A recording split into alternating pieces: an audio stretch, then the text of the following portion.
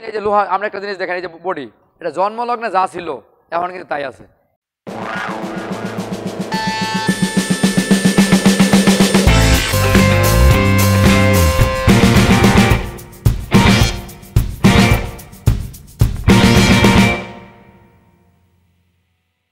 তার কাটার মেশিন এটা হচ্ছে হাফ থেকে হাফ এক দেড় দুই চার সাইজ এটা হচ্ছে হাফ এক দেড় দুই।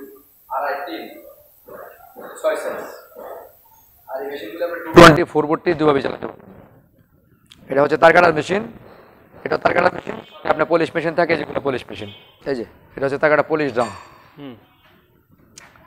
আপনার তার কাটা পলিশ ড্রাম তার কাটার মেশিন এই যে এটা হচ্ছে তার রাখার স্ট্যান্ড টাকাটা তার রাখার স্ট্যান্ড আর সাথে হয় একটা শান মেশিন এই যে এটা শান মেশিন আসেন।